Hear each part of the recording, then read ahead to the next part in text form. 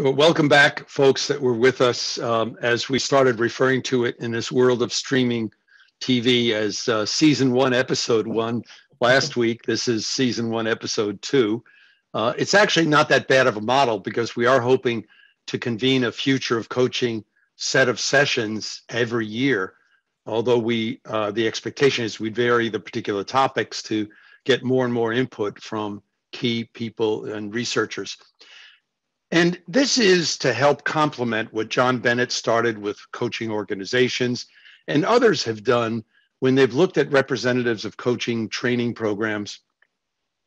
That eh, other than an occasional symposium at Academy of Management or SIOP, sometimes APA, we don't often get as researchers together to kind of, as we say, talk nerd to nerd about what are the issues that we're facing and in this particular case, how can we as researchers help the future of coaching? Help the efficacy, help the methods, help the processes, help our understanding. Last week, we focused on processes and mechanisms with um, presentations by uh, Melvin Smith from Case Western Reserve and um, Michael Cavanagh from the Sydney uh, School and Angela Passarelli from uh, College of Charleston.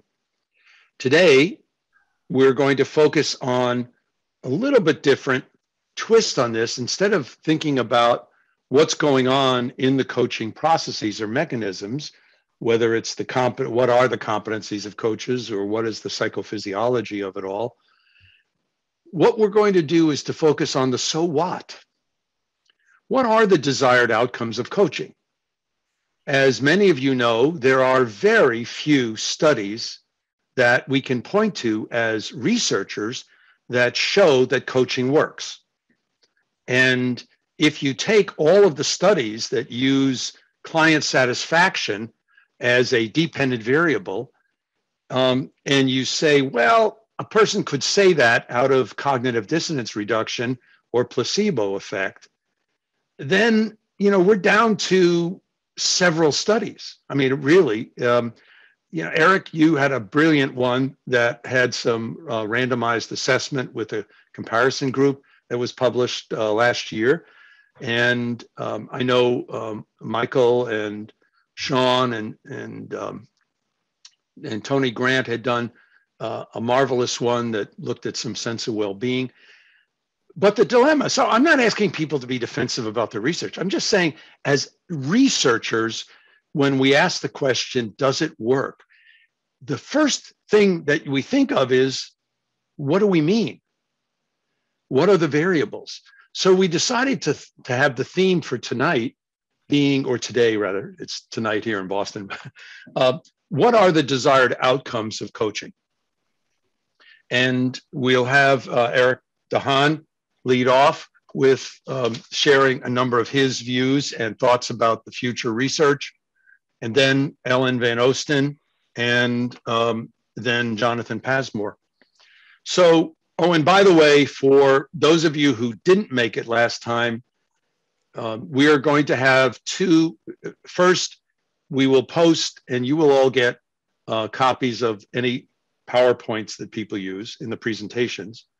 We will post a um, summary of, uh, we're going to produce a white paper about the key thoughts, kind of like, if you will, a catalog of what could we advise graduate students to do or other of us uh, in terms of future research.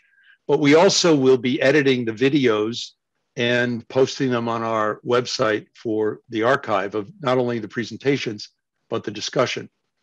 So the process we're going to use tonight is we'll have the three presentations, hopefully about 15 minutes each. And then we'll go into a set of breakouts to small groups so we can talk about what did, what did you get out of that? What were some of the ideas that you felt were really important that were raised? Or what are some of the things that you know you have an issue with? So what are your reactions to the designs, the variables, the measures, etc. And then we'll come back and in a plenary, hopefully have about 30 to 45 minutes to be able to just talk about it openly uh, and to talk about the views from our different perspectives. Tonight, the people invited were the same as invited. It was only one group of invitations, session one, two, and three. It, it, uh, we limited it to 49 people because I didn't want more than you could see on the screen at once in Zoom. And it reads like the who's who of coaching research, published research for the attendees uh, as well as the presenters. And then we have a select group of uh, advanced practitioners who are on a, a, representative from each of the family organizations within the ICF um, family system federation, if you will, and Magda Mook, who's the uh, president of ICF, and Joel DiGirolamo, who's the director of research. Uh, so, and so we have a number of folks with us who um, are specialists in the practice because that's a part of what we have to do when we think about research. Okay, so that's kind of the topic of what we're looking for. That's the process we'll use tonight. And let's dig in, unless anybody had a question. But without one, Erik, why don't you go? Thank you. Thank you, Richard. A wonderful introduction, but I have to kind of um, uh, start with a slight disappointment because I was moved from uh, from last week to this week uh, because I was on a train last week, and I therefore honestly thought that because of that move, I had to talk about process uh, because that was the original theme of this day. So maybe you can see me as a bridge uh, between the process research from last time and uh, the maybe the outcome research this time I, I will participate actively, obviously, with that second topic as well. But I've prepared for process research. Um, I don't think there won't be there, there, will be too much overlap with last time. Uh, so uh, this this is where I work. For those who don't know, it's a, a business school near London, in a beautiful uh, man, manor house built on a Augustinian, uh, sorry, I should say, a Normannic uh, convent, and we do programs in coaching, supervision, qualification courses. And we also have a great many, as you can see, coaches in many countries in the world, all accredited, uh, and a doctorate program and many other things. Um, then on to me. I know I have only 15 minutes, so I'm going to flip through, flick through slides very quickly. Um, this is me. I see myself as, as having three roles in life. Sometimes I've, i find it a little bit too busy, but I like the particularly the overlap between the roles. So in Ashridge, I'm associate dean, one of three. Uh, in the my other university, where I'm also a professor in the in Amsterdam, I'm the chair of a of a department. Um, so I have leadership roles and researcher roles, and that means that I can devote myself to leadership studies, um, but in a in a real sense, I feel so without having that leadership responsibility, I don't feel I can really talk about it. It's it's um, um, it, it, would be too glib in my view. Um, but even stronger, I feel that coaching research um, needs to be very strongly linked with practice.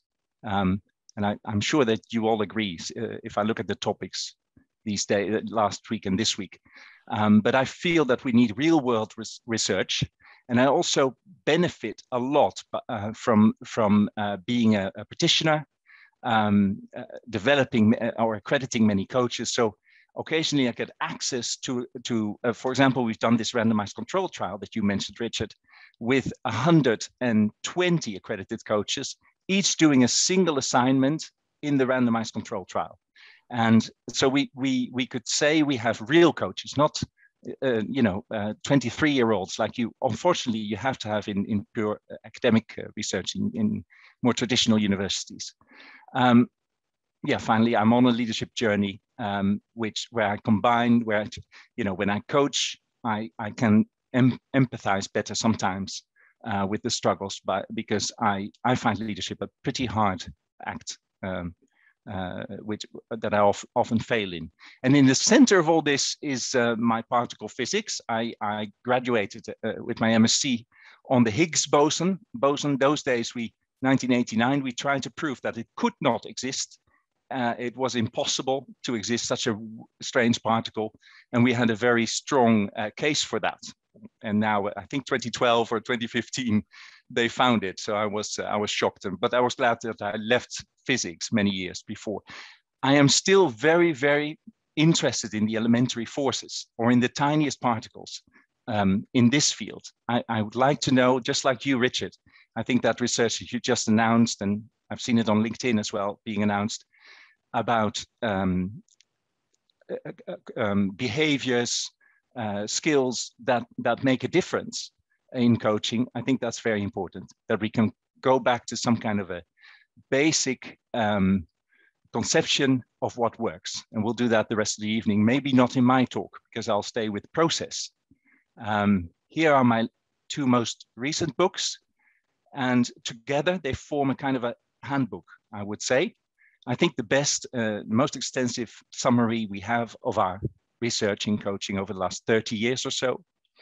Um, the first book um, it, it was on qualitative research. So that's all about what happens inside coaching. And the in that particular book, the, the critical moments, because it's my own uh, hobby horse, my own field, they, they dominate slightly in that book. Uh, so that's why the trapeze is there and you know you never know whether whether that goes goes well or not uh, when they're when they're like that in midair. Um, so you're inside the coaching experience, whereas in outcome research you use a number or a, a string, a vector of numbers um, coming out of of research of, of sorry of the coaching assignment or the coaching journey, and you never never look inside. Only if you do qualitative research with very very large data sets can you do some outcome research as well? And that's that's why I think as this this speech might be a bridging speech because some of our own research was so large scale that we managed to do to quantify some of our findings in the very end. But we started with qualitative data, uh, i.e. data from within coaching, from what happens from moment to moment in our case. But you can think of sessions as well, or skills, as you said, um, and we, we have now about 100 plus peer-reviewed original studies in the qualitative field. Um, so that's going really well, I think. And if, uh, you know, Tony, Tony Grant has shown how they go, you know, uh, exponentially upwards, the, the numbers of studies from year to year. That's very positive too. Uh, on the quantitative side, we now have more than 200 studies um, if you cast your net as wide as you can. But they are original quantitative studies, and they're not just pre-post trials, which are very, very unreliable. You need a control group. So, they, I mean, good studies. Um, you know, some might argue it's 160, but I think uh, you can come to 200 or, and over. And we have 35 randomized control trials now, and that's uh, amazing too. So we've uh, um, just uh, submitted uh, a meta-analysis based on only randomized control trials. Um, and that will be the first in our field. Um, and I think, uh, again, that research, the quantitative research is, is accelerating at the moment. It's going very well for us. Um, or maybe I should, I see people putting things on the chat. So I, I, I like to have researchers in my in my network. So here you are, that's my LinkedIn. Um, let's look at qualitative research uh, um, to start with um, to this evening or afternoon. And, um, oh, yeah, there we are. Ooh, now I'm going too fast. Um, if you look at qualitative research, um, you're going into the coaching sessions themselves. And there are essentially four different types of qualitative research that you can look at. And if you look at the, uh, the um, systematic uh, review that we've done, uh, there's about equal numbers in every category. Um, uh, so that it's, I think it's a, a, fair division of the field of qualitative research in these four. Action research, something that start, was started by Kurt Lewin, as you know, in the United States, um, well, it, it gets the closest to the actual coaching sessions it's almost like coaching. It's asking yourself reflective questions about the here and now and um, reflecting on your reflections. So something that coach and coachee will very often do anyway. Uh, but when it has a research question, you might easily turn that into an action research project. Then case study research could be about a single session or um, uh, what's her name? There is there's an article about uh, 15 minutes of coaching. I forgot uh, um, the, the, the names of the authors, but the, um, you could start very small with that with case studies. You can also compare different cases, different full assignments together. Then there's field research. Field research uh, means that you go into the field, you might get your hands dirty or um, you might get involved, you might tweak the coaching itself because you're in there. Um, and there's some beautiful papers there as well, where, for example, clients, coaches, have been asked a series of questions in, in interviews uh, between every one of their sessions. And you can make an analysis then on how their answers on that particular topic, how they how they develop as a result of their development journey and their developmental journey. And process research, where uh, probably the most of the of, of the good research is going on. And uh, I know Angela Passarelli, who's here, has spoken about a beautiful, uh, well, PhD of her own and the kind of uh, um, research you can do with bioindicators or, um, yeah, um, which is essentially also process research. So you begin, you, uh, you, you inquire into uh, certain markers and you see, for example, when somebody's uh, brain is being scanned, uh, you, you can, at the same time, you can make them look at a question and that's slightly similar to a coaching conversation. So you're doing a, um, a, an exploration of the process, in this case, in their, in their uh, brains, the, the absorption of uh, oxygen or what have you um, uh, by brain cells. Um, another example is our own critical moment research, which I, I will say a bit more about in a, in a moment. Um, and I I like the uh, what, what, was used to be called the Braunschweig uh, research, but uh, you know people have now left Braunschweig and they became professor in other universities, mostly in in Austria and Germany.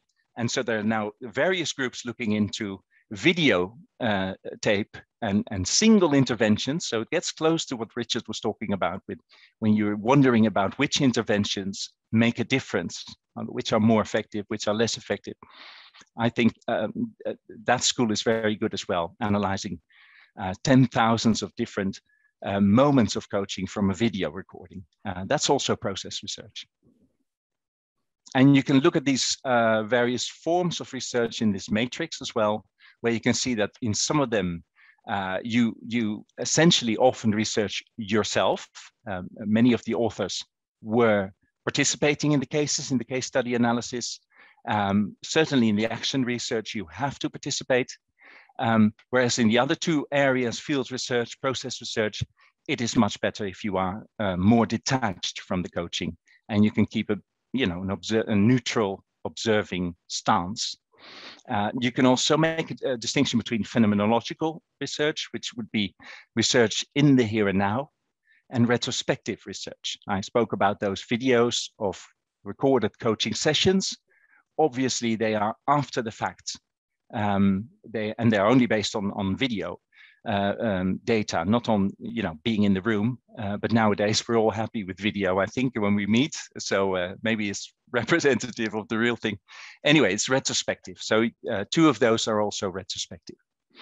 Um, now we're getting to oh, the my own journey with process research, which started in 2002, where this was part of a development uh, program for, for consultants, where they had an extra module of about five days to uh, um, specialize or to learn about individual consultation, about coaching. And at the beginning of that module, I asked these experienced consultants, but inexperienced coaches, um, what critical moments would they like to submit to our program and think about from their practice in one-to-one conversations. Uh, and we got um, 80 moments over the course of uh, a few years of doing that program. Um, so from, from 80 different participants, um, no, 60, 60 different participants, that's on the left. And we started to analyze, um, you know, what are these people expressing about what they find critical? And I particularly asked about a moment. Um, which is hard to define, but uh, Daniel Stern has written a beautiful book about uh, called The Present Moment, where he did a very good job at defining it. Um, it's, it's sort of the length of our attention span. Uh, and it's between about two and eight sec seconds. So I know that I catch each, each and every one of you uh, every eight seconds or so if I'm lucky, but I also lose every one of you uh, within about that time span uh, because that's how attention works. It drifts, it moves, it ebbs and flows.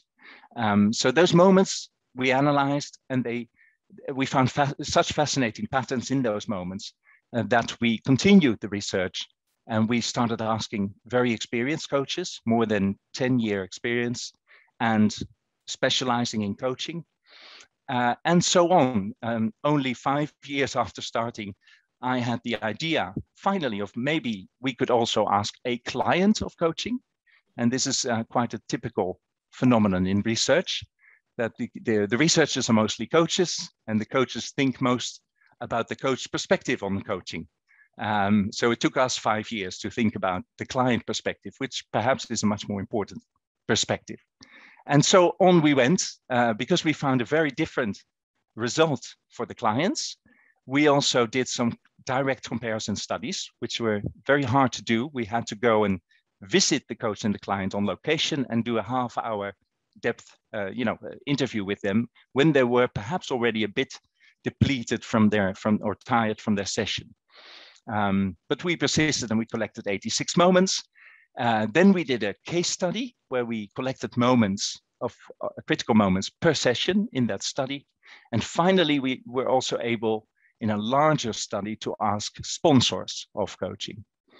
Uh, so the, uh, the commissioners of the coaching work about moments where they perceived, where, which, which they thought were critical um, to do with the coaching assignment. So not, not being there, but nevertheless reporting a moment of difference or a moment of uh, a key moment with, with their colleague.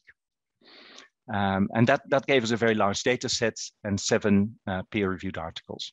Um, I think I have to skip a few slides. I only have five minutes left, I think. I would like to convey to you what we found briefly. But this is the argument for why you should look at moments. Um, why they are relevant uh, uh, research uh, object, um, but I won't dwell on this. And then there's the method that we did. You can read about that afterwards. Uh, but essentially, we asked the very same question in every piece of research to all the new groupings, uh, from client to coach to experienced coach, no, from coach to experienced coach, and then finally to client, etc. Um, okay, what did we find?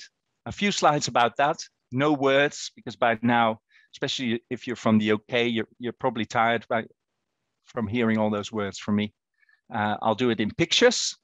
We found uh, with the coach big sense of self-doubt on the, uh, these were inexperienced coaches only starting their journey, but many of them wrote about, you know, who, who were they to uh, you know, to contribute anything to uh, uh, to to a manager who comes for a session. Um, what should they do? How should they go about coaching? So they they had a kind of a distorted view of self, or they were very focused on their doubts, and very often their doubts were highly relevant for you know what they were trying to do. So the the the, the doubts also seem to be very generative. Uh, uh, so painful at the, at the same time as generative for these coaches. Um, and so, um, and this this is a picture that we kept actually also with the experienced coaches and the very experienced ones that we um, researched later on. They were also much more uh, anxious uh, than uh, than than we had imagined when describing their critical uh, events and critical data. And of course, what we didn't realize is that they were submitting to us very dramatic moments. Uh, so often taking, we, we instructed them to take a moment from the last year, but perhaps they, they've seen many clients and they chose the most dramatic rupture in all of those sessions. And we only realized this later and afterwards. And we, so we analyzed those. I, I won't bore you with the details. We then finally went to the coachee and we found something uh, completely different. Um, which was that the coachee was much more focused on um, realizing something new, um, finding out something, either about themselves or about their situation, uh, people they, they worked with.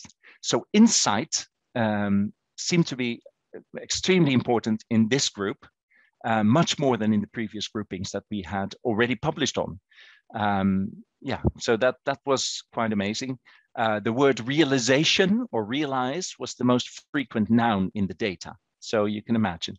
Um, and yeah, and the, the other thing that I found interesting was that they didn't always recognize the idea of a critical moment, although the coaches immediately did, and many clients also did. The, uh, not all clients thought in those terms. So we're very satisfied, very happy clients who said this was a, a, a more of a constant presence for me, or a, or a continuous help that I've been given. I couldn't I couldn't begin to choose a moment. Um, so we had these two different stories, and we began to wonder, uh, you know, do they are they in a in a session these uh, in different roles, obviously, do they also come out with different memories of their session? So do they come out with different uh, stories after they've done their coaching? Um, like this, with the with the coach story, a bit more gloomy, a bit more anxiety driven, uh, emotional, sometimes also very, uh, very proud, obviously, uh, but nevertheless, much more on the emotional uh, than on the, uh, let's say, the, the sec, the outcomes. Um, so as a next step, this is when we interviewed uh, coaches and clients on the same day. and we later did this coaching clients in the same assignment as well, after a whole assignment. Um, we had this question about Rashomon. I see that Richard recognizes the movie. Uh, he's nodding. Beautiful movie, the first Japanese movie that was a great success in America. Uh, it's the movie where um, by Kurosawa, where you have a single event, a murder, in fact, on a medieval mm, path, and uh, it's the event is being retold by four different participants who were there in front of a judge, in front of a court, and they each have a completely different story where there's a different killer, obviously. Uh, so um, they come out of the same event with completely, uh, you know, incommensurable stories. So do we have a Rashomon in coaching or not? A question that had been asked already in therapy. Can I go on two more minutes or not? Is it too much? Yes, you're nodding. Okay. So um, what we actually found is when we measured uh, uh, after a session or after a whole assignment from both parties about the same material, and we again asked about critical moments or key moments, there was an, uh, an, a remarkable consistency in their stories. And in fact, they had this, largely the same story. We still found more doubts, more emotions, more anxiety in the coach's story, and slightly more insight and outcome what the what the client took from, from the event, but they, in more than 50% of the cases, and this is where statistics was possible because we had these large numbers, in more than 50% of the cases, the uh, story was about the same event, the same two to eight seconds, if you wish, in terms of the, the moment, which uh, statistically would be highly, highly unlikely. And not just that, they also focused on the same aspects of the key moment. In fact, both parties now mostly spoke about insight and realizations. Uh, so that was that it was only then that we realized we had a, a different sample from the coaches who described the much more dramatic moments of rupture. Um, and then finally, I told you the sp sponsor was also involved. I think uh, a bit of a complex drawing there, but it, it's it's the idea is to kind of illustrate that in the in the three parties in the conversation, different elements um, come out in their stories, uh, because that was still an important aspect of our finding. Not about the same session, but overall, the parties look at different aspects. And the sponsors, sponsors very strongly looked at um, action. So all of their examples, not all of them, but many, many of their critical moments, their stories that we took from them, they focused on a change in behavior or a change in action, how somebody was acting in a meeting or how somebody was taking up their work. So it does seem to be the case on the basis of our qualitative research that those parties have different views on the coaching. So the client is happy with great moments of deep insight. Uh, but their boss, the commissioner, uh, would like to see a result coming out of that, for example. And I think also the coach still much more emphasis on anxiety and emotion and also physiology. Very often the body is mentioned in the moments of the coach, never the body is mentioned in the moments of the clients. And still, they are both human beings of similar education, etc. Um, so we have spin-off. You can read that later. Um, maybe it's fun to, as a very last slide, to show you this one. This is the statistics based on all the moments we collected. You can see that these bars of frequency count of different uh, codes were coded by raters and the raters were correlated and so on. There was a lot of statistics being done. And you see these different bar, bars. Here's the sponsor, or the commissioner. And number six is a moment of action initiated by the coachee. Number five is a moment of action initiated by the coach. Uh, so they sponsors bump out here. Numbers one and two, mostly clients. Moments of insight, number one. Moments of realization, moments of new perspectives, number two.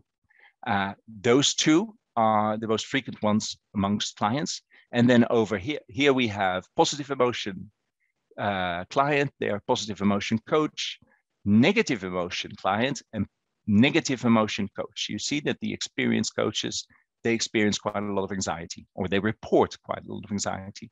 And then finally, doubt by the coachee. You see the coachee never doubts, um, it, both in the words of the coach and of the coachee. But the um, the coach does doubt, especially the inexperienced one. They go all the way up to more than 50% of their of the coding that we've given by the six or so coders are about doubt. And that's it. That was my whole presentation. Sorry not to be on topic, uh, Richard, again. Um, so good to be with everybody. I'm Ellen Van Oosten um, at the Weatherhead School in at Case Western Reserve University, which is in uh, lovely Cleveland, Ohio. If you haven't visited, we hope to welcome you at some point in the near future. Um, and tagging off of Erik and um, his presentation about process, um, you are the bridge, Erik. So thank you so much for connecting us from last week to this week. I think I picked up your mental telepathy there. Um, Amazing. Amazing. And the way that uh, that um, I've been thinking about our conversations is um, visually and using the the bridge that Erik uh, mentioned actually to kind of separate out or tease out some areas of focus. Um, and for our conversation here, and, and what I've been thinking about um, is, as Richard teed up, the kind of what's across the bridge. Um, so, uh, what um, do we know and what can we learn together um, in thinking about the interaction of a number of factors? And so, um, what I wanted to kind of zero in on um, is the, the coaching outcomes, which I think about those also in terms of results or in terms of impact. So, ways to kind of conceptualize it a little bit. Uh, for me, I wanted to thank um, Richard, you for this opportunity, but all of you on this group and being a part of it is incredibly energizing. The last time I was able to be a part of a conversation specifically about outcomes was two years ago um, when uh, Melvin Smith and I and a number of you joined us for uh, a symposium on desired outcomes in coaching. Um, Angela Passarelli presented there, uh, Tony Grant uh, presented there as well. Um, and so it was just an incredibly energizing conversation. And um, I'm reminded of that and how much we enjoyed ourselves, but also how much we took away uh, from that. Um, so just uh, for me, um, thinking about Tony and that, that conversation was top of mind. But I also wanted to specifically express my uh, gratitude for so many um, of you in our group who have provided us with a very rich foundation of scholarship. And the scholarship, of course, is very broad, but in particular, I zeroed in on some that were meta analyses or collections um, of of kind of theories, but or um, in particular references and of studies and conceptual work that helps to inform how we might think about outcomes. So certainly you'll recognize a, a lot of these folks, um, including many who are with us um, here, um, but I'm sure also um, in your own work, you've come across uh, these as well. Um, and um, some of, I've only gone back 20 years, but obviously there's some um, key work that even uh, was earlier uh, in the 90s as well. So again, this is not meant as an exhaustive list, but zeroing in on, on um, some of the um, meta-analyses that have uh, really, I think, helped to inform us and give us an important launch pad to think um, more broadly and think more deeply about outcomes. So in doing so, I wanted to just offer an observation that um, definition really serves as the starting premise for us. And there's a range of definitions uh, in the literature, and they influence how we study coaching outcomes. So coaching um, sometimes is viewed um, as concerned with performance. Other times it's um, concerned with learning and development. Uh, sometimes it's one-on-one um, and relational. In a couple of cases, including um, a lot of the, the lens that uh, my colleagues and I often think a lot about is um, coaching for what purpose and change uh, being a way to think about that. And there's also kind of a, a qualification there around what type of coaching. So in terms of uh, the definitions, there's ones that refer to coaching broadly, and then others that provide us with a way of understanding it and thinking about it that's more specific. I chose um, executive coaching here, um, and um, and there's a number of references right that help to inform it uh, because of um, a comment that uh, Erik you just made that for uh, me and for um, my colleagues, we, we think a lot about as well, and that is coaching has to be practical. And so it seems like the workplace then is a very salient context, right, for us to uh, think about and study um, coaching. And why is that? Well, um, organizations pursue learning, training, and development initiatives to improve the effectiveness of human capital. And they're the primary users and sponsors of leadership development. And they spend a lot of money on that. Coaching is considered one of the interventions or mechanisms uh, in the repertoire of leadership development that organizations access. But that does present right away some dilemmas for us um, as uh, scholars, and that is organizations want to, to know about the ROI. So Erik um, teed up for us that um, often they're the managers, right? Uh, the representatives of the organizations want action, they want to see the behavior change. And expanding that or building upon that at an organization level, they want to know what the return on investment is for coaching. So, in order for us to be able to uh, be in that conversation, right, we need to be able to access outcomes that have a value with an objective measure, such as a person's time or money that's invested or saved or spent, or um, some um, objective measure around people, including clients, employees, and so on, who are hired or retained or lost. So those are a couple examples, but you know the search for objective measures um, is you know fraught with challenge. Another dilemma um, to be able to do compelling um, coaching outcome research in the workplace is the access to uh, big enough samples that enable us to draw some generalizations um, and have those apply across you know a much broader context.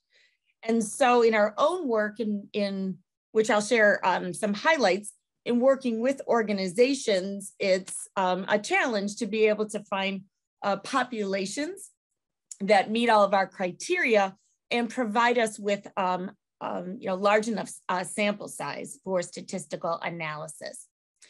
But if we look at kind of the literature and inform ourselves as broadly as we can, we do actually find there is some kind of coalescence, there is some convergence around the overall aim of coaching. And so um, I would offer to our group some um, thinking that one of the so what's uh, to coaching is that it's fundamentally about facilitating or prompting or encouraging, right? Some degree of change, learning, and or growth. And that's well established um, across um, a number of different um, studies. In some other studies, those are uh, framed a little differently as cognitive, skill-based, or affective. So I offer those as kind of ways that we might think about it, or maybe you think about it in your own research, and then how and where you uh, and your work um, might fall.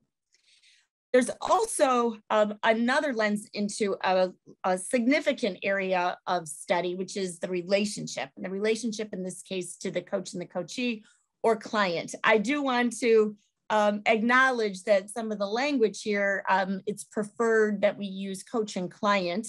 We've uh, talked about this quite a bit ourselves. And so um, we end up kind of uh, using those somewhat interchangeably. And I'm mindful that in this presentation, I leaned into the coachee framing. So consider those as somewhat interchangeable, the coach-client relationship.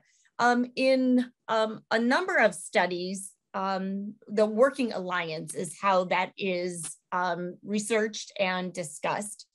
And in many studies, uh, we're examining what that uh, relationship between the coach and the client or coach and coachee um, really uh, represents or what the qualities and characteristics are. So helping us to discover and understand what does it mean to have a quality relationship. Um, but even at a, a, kind of broader level, considering um, is the relationship an outcome, right, of coaching, or is it a mediator or a moderator?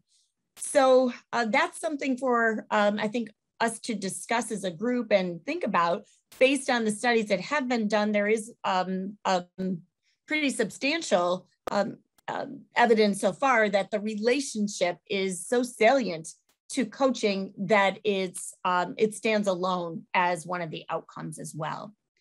Now, if we kind of drill down a little bit more and kind of look at what do we mean or how can some of our constructs fit underneath these kind of broader umbrella categories, right? Um, so when we think about areas of, say, cognitive um, outcome, that's where we might find changes in knowledge, uh, strategies, problem solving competencies and skills are you know, job related competence, uh, leadership skills, and so on. Affective could include self efficacy, well being, engagement, satisfaction. Performance um, would be individual, team, and organization, organizational results. And relationship considerations would be again be um, the kind of relational factors that help us understand um, that connection between the coach and the client. Now, there's been a lot of compelling work done drilling into some of these outcomes. So you see a number of them here. Coaching leading to improved learning and performance has been an area of study. Coaching leading to an examining manager and leader effectiveness including the two that um, that I've spotlighted there, specifically look at multi-source feedback as one of the mechanisms. Um, leading to goal setting and achievement um, has been a, a, a, primary area of focus. And then coaching related to workplace stress is one that um, has been studied and um, is emerging and maybe um, one that for all of us uh, globally you know, is uh, important for us to be considering given the environment that we're in. That's that's a question that we find ourselves uh, thinking about quite a bit. Um, and then also the coaching relationship impact on outcomes, um, such as self-efficacy, such as work engagement, career satisfaction, and, and so on. Now at the Weatherhead School of Management, um, we have a coaching research lab that uh, fuels our inquiry and collaboration, and we're um, excited to share that with you. Um, the Coaching Research Lab uh, was founded in 2014. Um, Richard Boyatzis and Melvin Smith and I uh, founded it then and have a number of colleagues here uh, in this group who um, join us as uh, fellows in the lab. It's a collaboration between researchers and practitioners, so organizations uh, become members of the lab. And together, um, our whole reason to exist is to advance coaching research and our collective understanding about coaching excellence, what really drives that. So I just um, offer a couple of different inquiries here that um, can give you a, um, an indication of some of our, our work. Uh, most recently, we're, we've been, uh, one of our doctoral students looked at how group coaching affects progress and well-being with progress of PhD students being a performance metric, well-being, of course, being one of those affective outcomes. Coach effectiveness as a facilitator of sustained change. Uh, that's something that actually I'm going to talk about in just a moment. Uh, my colleagues Scott Taylor and Angela Passarelli and I have been thinking about that, and, and I um, can share a model that represents some of our, um, our recent thinking. Um, I had an opportunity to, to do a study years ago with banking executives, and we looked at emotional intelligence and coaching on leader effectiveness and the impact of you know coaching as it related to um, to uh, prompting and leading to performance, career satisfaction, and work engagement. Um, there's also a whole body of studies that we've summarized in um, our recent book, um, Helping People Change, Coaching with Compassion for Lifelong Learning and Growth, which um, that I co-authored with Richard Boyatzis and Melvin Smith, but um, it but has a ton of studies by many of you and certainly many of our close colleagues um, here. So it was a fascinating and really humbling uh, um, effort on our part to be able to coalesce a lot of those into, into that book. And that's what makes it such a, um, a rich collection for us uh, because it helps us understand coaching for intentional change and why and how that works. Um, we've talked last week, and Richard, um, um, I know teed this up a bit, as did Melvin, but uh, we're curious about the competencies of coaches. And so that's something that uh, we've been um, uh, beginning to, to look at over the last several years and, and hoping to uh, make some good progress on in the near future in terms of uh, the sample size. Uh, we have a coaching modality study that Angela Passarelli and I started years ago, which is a field experiment examining different communication modalities, their impact on the coaching relationship and coaching outcomes. Um, and we've also uh, looked at uh, emotional attractors in, in vision. So Richard and Kylie Rochford and Scott Taylor uh, published on that, um, as well as vision-based coaching, which uh, Angela Passarelli has studied and published. So this gives you um, a glimpse into the inquiry uh, that has stimulated a lot of our curiosity and our work both individually um, and collectively. I wanted to um, just double click on two um, just to give you a little bit more um, of a um, information around that in the short time that I have.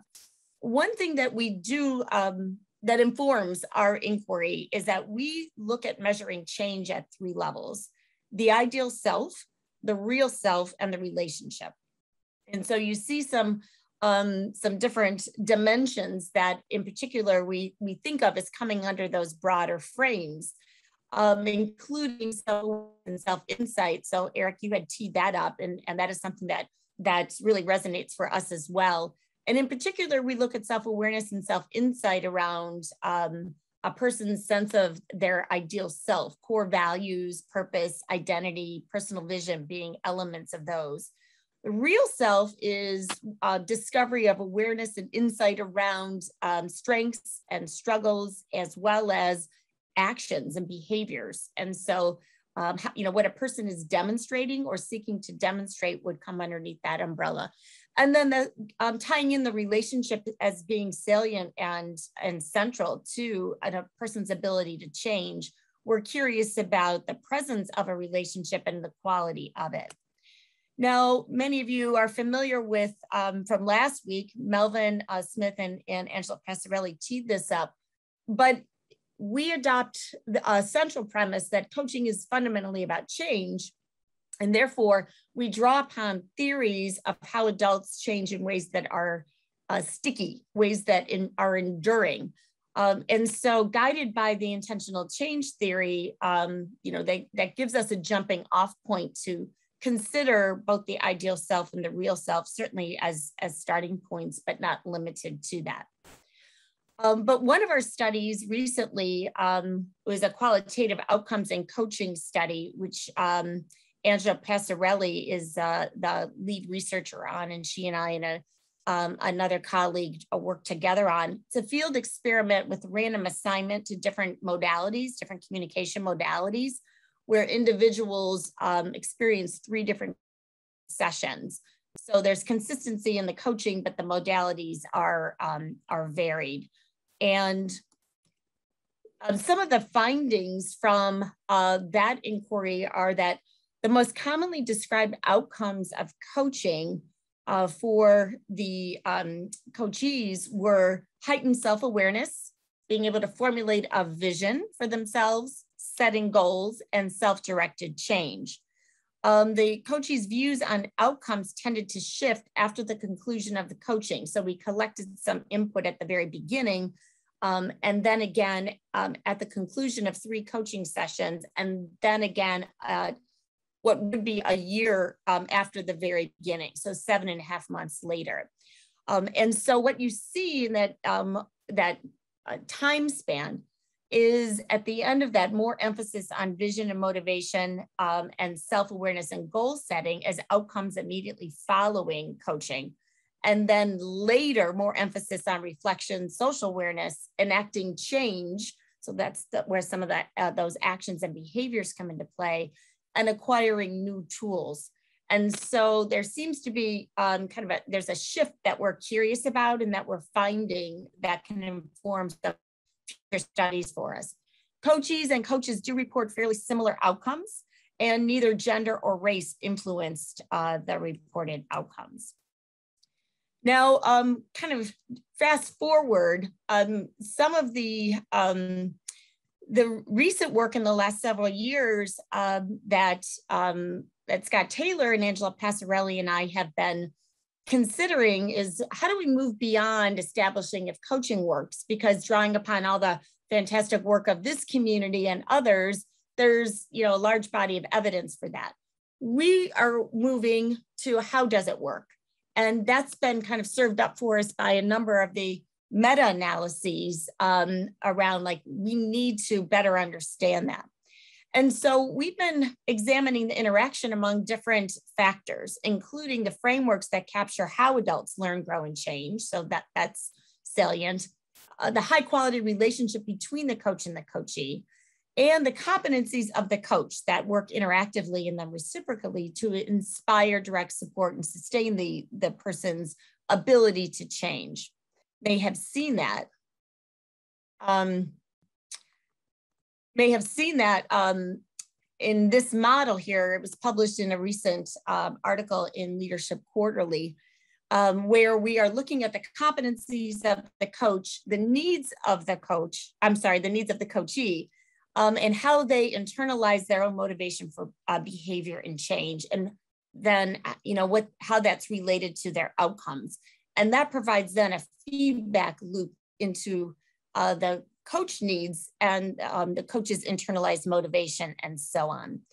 And so um, for us, we, we think about thing, this kind of model here and bringing into play um, motivational theory and self-determination theory in particular um, as informing um, our understanding and views around, again, how uh, coaching really works when it does. And so um, as I conclude here, um, I will offer this as kind of uh, catching you up on our latest thinking is that we're expanding our frame, we're seeking to do that. And uh, ourselves is the lens that we've been using into understanding outcomes too narrow or perhaps incomplete. And I'm encouraging all of us as scholars to consider a maybe more nuanced view or a more complete view in looking at the relationship between uh, these factors as uh, another frontier in coaching research. Um, the other things that are on our minds and what are currently um, we're actively pursuing um, in the coaching research lab through faculty um, work as well as the work of our doctoral students are what you see here. Um, uh, Udayan Dhar is one of our students and he is doing his dissertation work on the effect of um, work experience on shaping the ideal self of individuals over time. We have a number of studies emerging around peer and group coaching uh, by uh, both um, Hector Martinez and Richard Boyatzis, who um, Hector is also in our group, and a couple of our doctoral students. Um, so they're examining uh, peer coaching in um, medical education settings and in corporate settings embodiment in coaching and, in, and the connection between our brain and our bodies and our behavior is being um, studied by Amanda Blake. And um, we are also looking at team coaching as in, an intervention in prompting uh, learning and development of certain competencies, in particular conflict management competencies of MBA students. So that's one where uh, Melvin Smith and I are working with uh, a couple of our doctoral students on that currently. And so that for me concludes um, my, um, my thoughts. And so I hope that this um, provides for you some stimulation, uh, maybe even kind of a way to get your head wrapped around um, the body of work. I know for me in preparing for today, I was just really energized to, to dig back into into this and um, and be able to kind of wrap my head around that. So I hope the same is true for all of you. I look forward to our conversations. Uh, thanks, Richard, for um, passing over the ring. Uh, and I've got about a 50 minute presentation to share with you this evening. Uh, I, I, I, I, only jest, and what, what I'll do is, is just really spend 10 minutes maybe providing some provocative questions for us to engage. And I, I think what's most interesting, I hope, about this evening uh, is what will come out from the discussion. And it is a little bit like this evening be, being invited to the halls of Valhalla with so many of my heroes sitting out here David and Peter and Margaret and Christian and Erik, many of you whose work uh, has really helped us over the last two decades to begin to take forward our field, begin to shape it and understand what is this construct that we're exploring and beginning to break that down into its individual components and think about how those elements go together to create the impact. I, as the third speaker this evening, sort of anticipated that Erik would probably focus on those individual processes and those critical moments and the fabulous work he's done really over the last decade of war. Uh, and I imagined that Ellen would give us a critical literature review. And then she's also added to that with the fabulous work that's ongoing at Case Western um, with all of your PhD students. Uh, and really, I wanted to throw in probably five topics for us to think about, maybe taking on the research over the next three to five years of issues that I think the field needs to be considering. And I think the first of those is around the existential crisis and what role in particular coaching has to play in the existential crisis that we face as humanity. We have COP26 approaching us. There is much debate. You cannot pick up uh, a, a broadsheet newspaper or The Economist or any informed source without thinking about the environmental issues that are ongoing and are troubling all of us uh, as countries and as individual citizens and thinking about what we're doing in coaching. There are a few who are starting to talk about this. We at Henley Business School have started to explore some of these things. Um, but there are fundamental questions here. And I guess for us, when people look back on this conversation in the archive, when they think about the work that we as researchers were doing during the 2020s, they might be asking, what were coaches doing when the planet was burning? And maybe the answer that we have been focusing on, well, actually, coaches were just simply helping their clients to make the flyer glow hotter. We're focusing on amplifying organizational uh, individual performance. Those might be important issues, but there are meta issues beyond those. And I wonder, as one of our research questions, that I think our field should begin to start to think about, and I don't have answers, I just have a question, is how we can, as a field, begin to think about what it would look like for coaches to begin to operate, operationalize uh, environmental questions in their coaching conversations uh, with individual clients, with teams, with organizations, and with the wider system. So I think that's the first issue for us to be thinking about. The second one I want to pay some attention to is around race. And once again, this has been a theme, certainly been drawn maybe to many of our attentions more in the immediate past two years with the emergence of Black Lives Matter, um, many of the street protests, certainly we've seen in the United Kingdom and also in the United States and probably in many other countries too. Uh, and for me, that question then comes down to thinking about how we start to think about some of the challenges those race questions raise for us. At Henley, we have done a number of studies around this, yet unpublished. So we're working to write up those papers, two are currently in for review. And the evidence is telling us that the perception for engaging with Indigenous and Black coaches is a perception of inequality. The evidence is also telling us that Black coaches in certain major economies are statistically underrepresented. Why is this the case? It's also telling us, which was most worrying, that Black and mixed race coaches were paid less than white coaches. And maybe none of those statistics are fascinating to you. Maybe they're not challenging to you. But I think if we are concerned with issues around uh, equality and considering major questions, not only do we need to look at the micro issues, but we also need to look at those macro issues.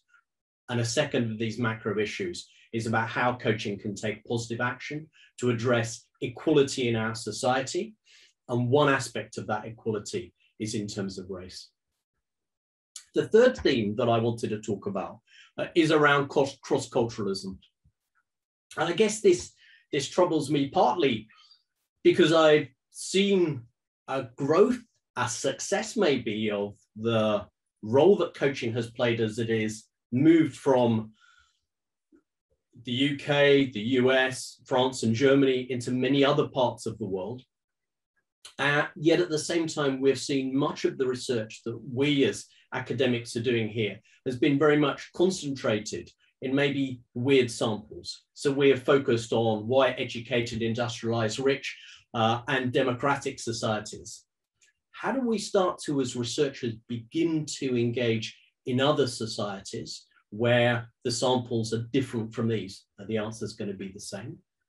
And as we think about that cross-cultural work, how do we begin to think about engaging in a way that doesn't simply assume that the McDonald'sization of coaching, the model that we've created in our own experiences in the UK or in the US, uh, the hamburger version of coaching is equally delicious in Nigeria or in Korea uh, or in Indonesia. So how do we begin to think about amplifying African and Asian models of coaching? How do we begin to think about researching those uh, with samples that are different to those that we've used before? The third aspect that I wanted to move on and talk around oh, was around evidence-based approaches. And Erik's talked uh, in a very articulate way, drawing on his research and talked extensively about the number of studies.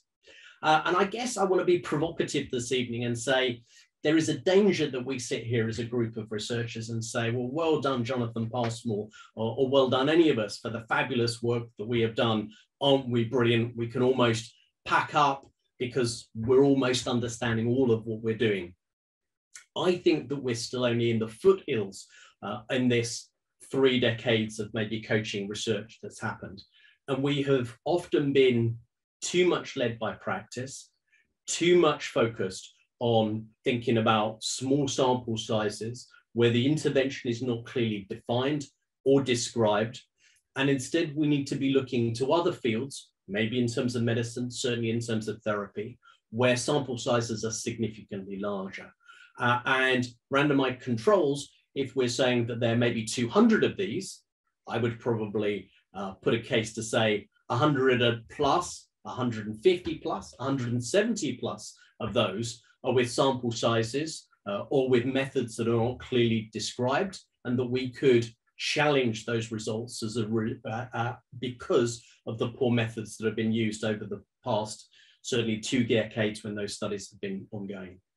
And instead, I would see that instead we need to move to a model where we have much more collaboration. Instead of one researcher trying to work alone and get a sufficient sample size with maybe a student population where that population is very restricted and all the difficulties around that, I think a collaborative model where we need to be bringing together universities, professional bodies, and large scale coaching providers, and that we have sufficient funding for researchers in collaboration to do the large scale studies that we see carried out in health contexts.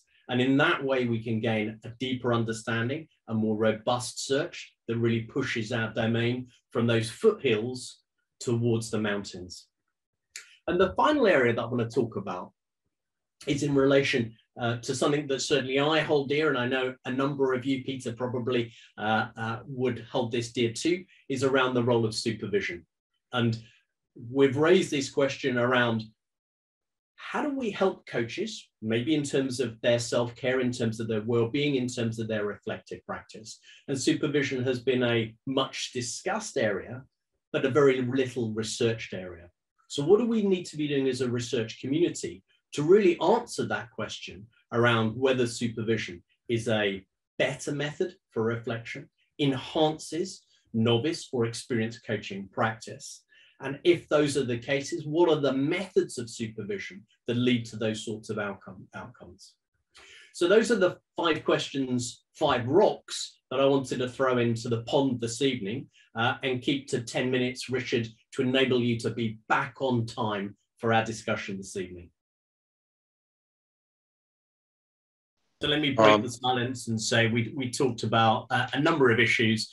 Um, one, we talked a little bit around and I'm sure colleagues will will chip in in my group. We talked a little bit about the the environment uh, and the importance of that theme, but our most fascinating conversation came in the last eight seconds, or maybe the last sort of four, four minutes or so of our, our breakout room, which is around the role of AI as a topic that we haven't really talked about uh, during the course of, of this meeting anyway. And how that could fundamentally change the nature of the coaching relationship. And David may want to add to this, but David's uh, position was effectively within 10 years. Do you know what? We're all redundant. So are we wasting our time this evening? Would we be better off watching The Crown episode six this evening? I, I did not mean to say that in 10 years we're all redundant. I said in 10 years 90% of what coaches do today will be done by artificial intelligence. So it's a, it, it might be a nuance, but they can do a lot of the simple stuff now and they will just continue to get better. As somebody mentioned in our group, we're training them every time we talk to Alexa.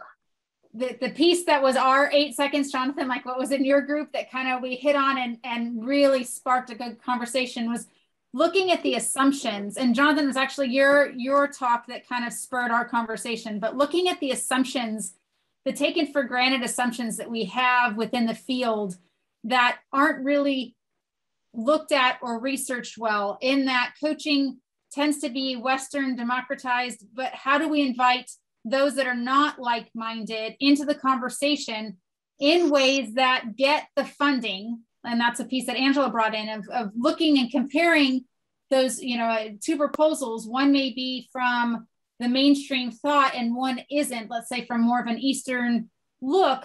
But because of the way that criteria are created, those converted, they're held to a disadvantage. So how do we look at and really analyze um, our underlying assumptions that influence how and what we research going forward? Sean, Polly, Anna, and Kylie and I were in a group. And um, I would say that what we were, uh, what came out as a, a kind of interesting uh, consistency across our different views is that uh, well being ends up being in a very important outcome. And it does drive a lot of other things, we believe. And there are just beginning to see these studies that how it might affect engagement and all sorts of things health. But it raised the issue um, that Jonathan raised is, you know, are we amplifying outcomes that are negative? And that to me came back to the issue of the chat discussion, which was all about do you call it the coachee or the client or the participant or the learner or whatever? Because that issue wasn't just arguing about labels, it was really asking what Ed Schein and I were talking about just last week in a conversation who's the client? And then we immediately go back to, well, what is the desired outcome? And here's a thought that maybe this is what we should be looking at the desired outcomes are multiple. It could be the person's sense of health and well being, it could be some improvement in their behavior. My view is the most powerful thing we do as a coach is help someone build a new sense of purpose or reaffirm their dream, a broad vision for what they want out of life. Regardless of what the changes are, building better relationships, isn't it true that we should look for coaching to work on a number of outcomes. Because if we allow any one outcome to be preeminent, I think it goes off course and something doesn't get um, addressed well. Besides talking about that and the balancing, we uh, talked about how the micro moments does give us a window into um, you know a very rich world of what exactly is happening and that um, when we start to look at this issue of not just the different outcomes, back up to say in whose eyes is the out is the outcome determined. That's when we start to look at the cultural relativity that the assumptions that in one culture may not be the same as another. Uh, that in individualistic cultures we want to improve a person's you know efficacy or individual performance or uh, their chance at the better life. In collectivist cultures, people want to impose a different kind of conformity and be a part of the the mass and just do what's expected. So um, in all of those cases, we could easily see them going off the rail and us making things worse in society or in global mechanisms. Um, but asking for more perspectives, doing more research on that, I think is going to be uh, really key. I mean, finding out how people's dreams do differ around the world uh, will be absolutely amazing. Uh, well, I'll kick off for our group. It's Margaret Moore. Thanks, Margaret. Um, I was with Linda and Andromachi, and I'm just looking for you all. Um, Juan, where are you? Juan, there. Jo, is it Joanne and uh, Hector? So um, we uh, I think Erik, you you know, focusing on the moment of insight um, is a unifying way of kind of saying what you're saying, Richard, which is that it what we're doing is focusing on the outcome that is wh- whoever desires the outcome. It doesn't really matter what the outcome is; it's whatever they want, and we're producing the insight and the upward spiral of insight and, and behavior change, mindset change that gets them to that outcome. So I like we like that kind of as a unifying uh, idea. And then then the question about the relationship and how important it is, um, you know, it would seem apparent that the reason the relationship is rich is because the relationship is producing the insight. I mean, it isn't a relationship to have a relationship, its whole purpose is to produce insight. So, therefore, the two go together, they're interdependent. And so, so that that emerged and then you know and then um, the issue Erik you raised about the stress of the coach you know one thought was that that comes from the fact that these studies are so damn short right? There's only like so many sessions over such a period of time which is not necessarily the real world. So the stress on the coach to produce insight is is not necessarily the way coaches would be in the real world which then leads to the next point which is you know, many of us are working with our clients for years, not because the relationship is so deep and so profound and it keeps evolving. And, you know, as a coach, you stay on your toes, you try to bring a new way of seeing things along that way. And that's not really getting studied. You know, we keep looking at it in these short term um, ways, which doesn't, I don't, doesn't really leverage the relationship fully and doesn't re- leverage the fact that people continually need insight towards whatever outcomes. So those were a few things that came up.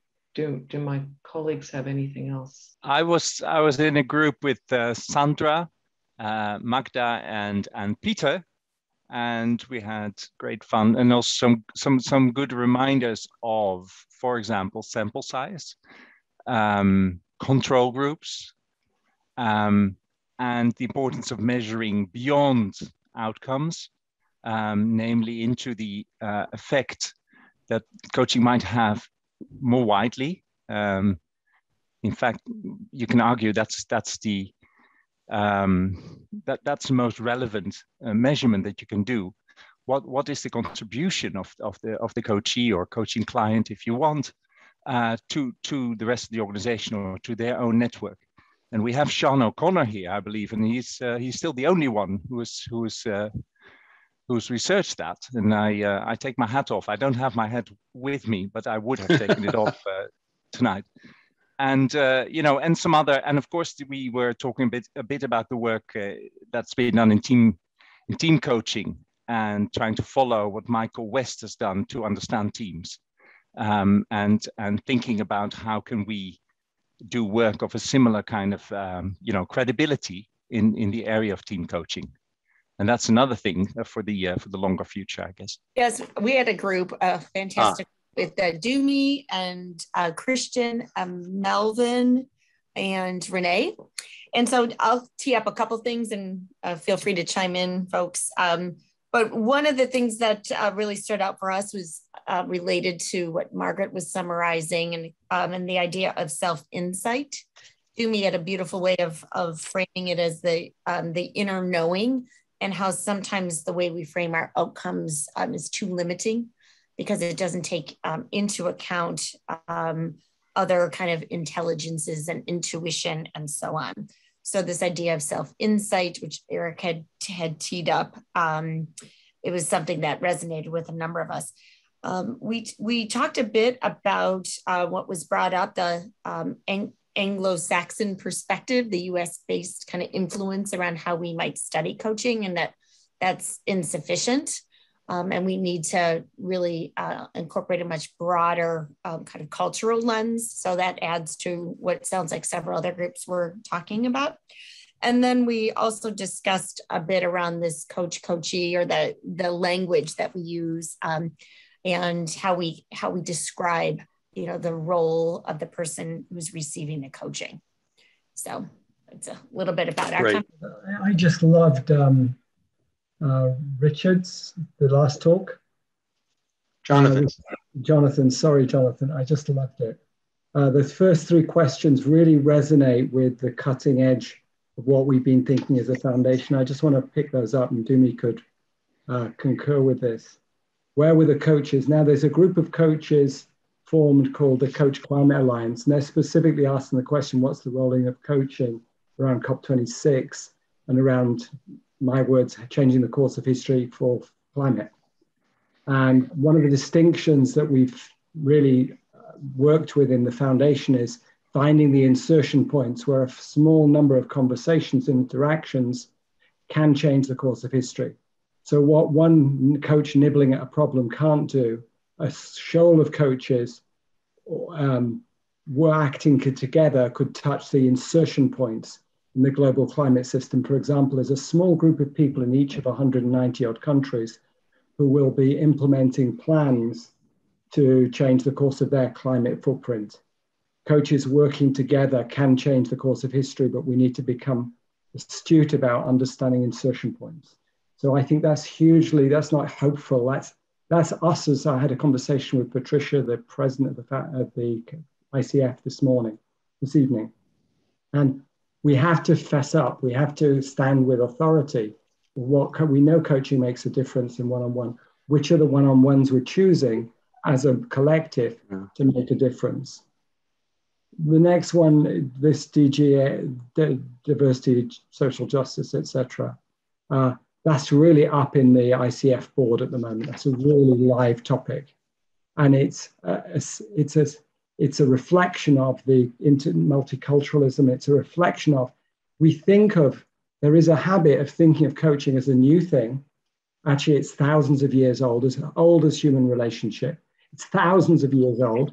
And if I went to, we're as an Anglo Saxon, Northern Hemisphere mindset of English speakers, we're a small fraction of the world's, of the planet's population we're is this small group we're reflecting a very small fraction of that very small fraction. So we have to cast our net much wider and it's not about including them in our conversation. It's with humility listening out to different cultures mindsets populations language groups and listening to what the same pattern of one human being creating a conversation with another which adds value to one or both then we might get a glimpse of what the cutting edge might be. Um, so these are and what that's great. Yeah. Last last point.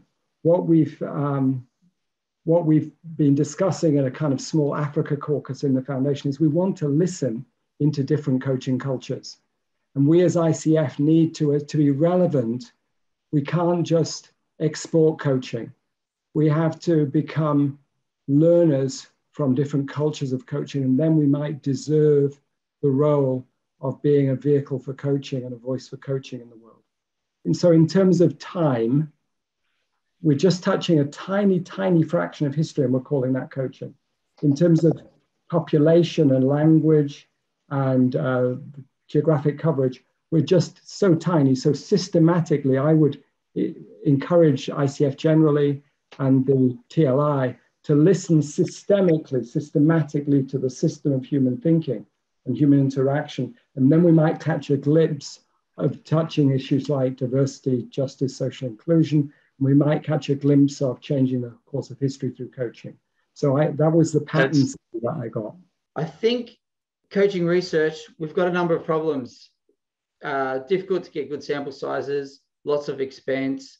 We've got lots of questions to answer and lots of things we could be doing. And that's been very evident in the conversations we're having here. I think to take a sort of bigger lens, I'm wondering about what other things that are possible for us to research and what how can we start thinking about the structure of how we design research and approach research as a collective in order to answer some of these big questions because the big questions can be asked but I'm not sure if we're asking how we might answer some of them.